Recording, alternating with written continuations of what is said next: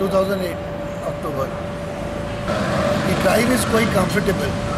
Cost of maintenance is okay. It Requires in every quarter one service is required and that costs somewhere around five to six thousand. That is not too much actually. Excellent performance.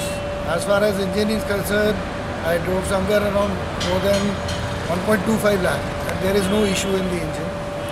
And uh, the suspension is very good. Ground clearance is excellent the controlling is very good actually. So when you drive on the highway, then you will find something completely different with the other cars. As far as positive uh, concerned, there are so many positive as I told you in the performance also. Like suspension is good, controlling is good, ground clearance is very good, positive things. And one more additional thing in a six six and a half lakh rupees package, you find all the features in that one. And the negative ones are the mileage. Okay. Because now the new cars are giving somewhere around a mileage of 18 or 20.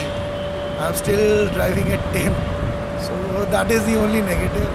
And the second negative what I feel is now company had stopped manufacturing this car. So the spares are getting difficult to arrange the spares. It's really getting difficult for me. That is the negative point. Otherwise everything was okay. City it is somewhere around 10. On highway around 40. Now it won't be possible because this company had stopped this manufacturing. Seven, seven and a half.